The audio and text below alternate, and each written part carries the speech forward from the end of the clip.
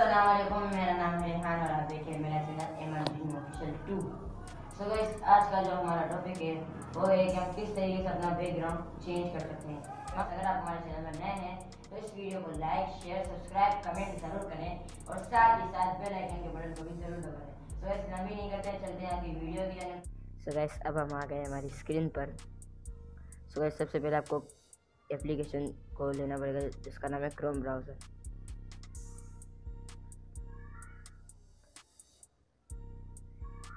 उसके बाद आपको सर्च पर जाना पड़ेगा।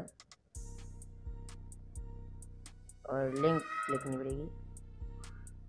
रिमूव बीजी बैकग्राउंड उसके बाद आपको ये लिंक्स आ जाएँगे आपके सामने तो उसके बाद सबसे ऊपर वाली लिंक्स आपको चूज़ करनी पड़ेगी। उसके सामने आपके, इस तरीके से आपके सामने आ जाएगा। सो गाइस अब अब अब आपको जाना पड़ेगा अपलोड इमेज पर। तो गैस आप कोई भी पिक ले सकते हैं तो मैं भी ले रहा हूँ कोई भी पिक सो गैस में सब ये पिक ले और डन करना है। लोडिंग